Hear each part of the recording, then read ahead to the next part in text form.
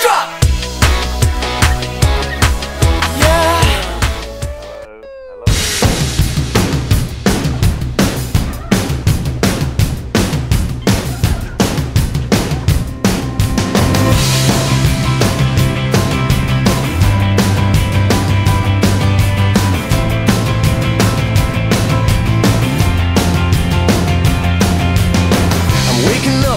Start of the end of the world, but it's feeling just like every other morning.